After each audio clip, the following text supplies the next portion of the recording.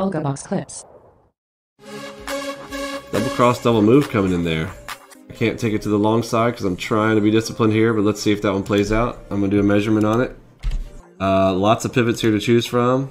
I'll just do the closest one because we're going against the grain. Remember what? Always think of that. If you're going against MACV Ultimate, then do the shortest pivot, right? There is one, I mean, it could be like right here. Like if that's the case, that would really suck. We'll go ahead and draw it anyways. Okay, I, if it's that small, it's not really worth taking a shot, really, unless you're on low time frames like this and you're gonna do a tiny target. They got two gold lines here. Press the like button, share, subscribe, and comment below with your thoughts and what you've learned.